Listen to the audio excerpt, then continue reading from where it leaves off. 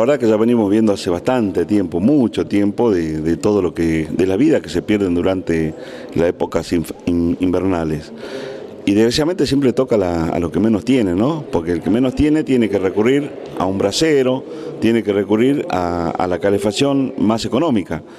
Eh, también hay, este, digamos, este, vecinas y vecinos de, la ciudadanía que por el mal funcionamiento de un termotanque, de, una, de una estufa a gas o de una estufa este, que, realmente no tenga los lugares ventilados, se terminan lamentando víctimas y son muchas. Este, nosotros que estamos de acá justamente para gestionar, legislar este tipo de leyes, teníamos que, que hacer esto, saldar esta deuda pendiente y ojalá que esto este último invierno haya sido el último este, que tengamos que lamentar víctimas este, de este tipo. Ojalá que de acá para adelante eh, se haga la, correspondiente publicación, propaganda de prevención para que eso no vuelva a suceder nunca más, este, sobre todo en la familia más vulnerable, lo que, lo que más necesitan. ¿no?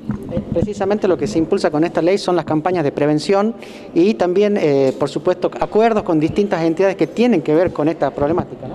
Sí, por supuesto, la prevención ante nada, me parece que eso lo tiene que tomar ya este, el, eh, ministro o el director del área.